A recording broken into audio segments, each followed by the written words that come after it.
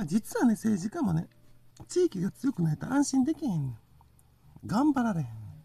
自分の出身地域、まあ自分の選挙の地元、そこの地域、地域人民がめっさ強ないと、頑張られへんねん、政治家って。じゃ、あ、財界もそうやし、もちろん経済、企業、会社で働いてる人もそう。自分が住んでるとこ、自分の出身地、自分の故郷の地域の住民がやったら強かったら、めっちゃ頑張れるの。なんでもそう。まあ、野球とか、特にそうやの。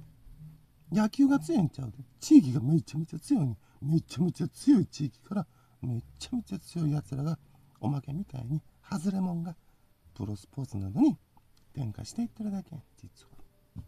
本土あるからね、2009やね芸能人もな、プロスポーツ選手も、めっさ強い地域から見たら、2000級の人材やな。ほんまやね。